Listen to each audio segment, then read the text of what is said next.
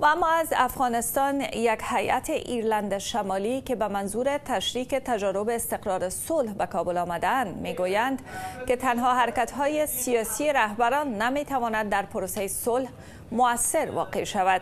این هیئت نقش جامعه مدنی را در تامین صلح و ثبات در افغانستان مهم دانست و تاکید کرد که حرکت های صلح باید مردمی شوند تا نتایج خوبی را به دست بیاورند. این هیئت از انستیتوت تامین صلح و حل منازعات کاروی ایرلند شمالی به همکاری بریتانیا از سوی شورای عالی صلح به افغانستان دعوت شده است.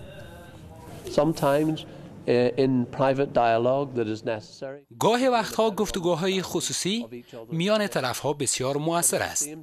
اما گاه تنها رهبران نمی‌توانند برای تأمین صلح کار کنند. نیاز است که هر فرد جامعه در شهرها و قریه ها برای تأمین صلح کار کنند. سخنگوی سخنگوی شورای عالی صلح می‌گوید که شورای عالی صلح افغانستان به همکاری کشورهای جهان نیاز دارد.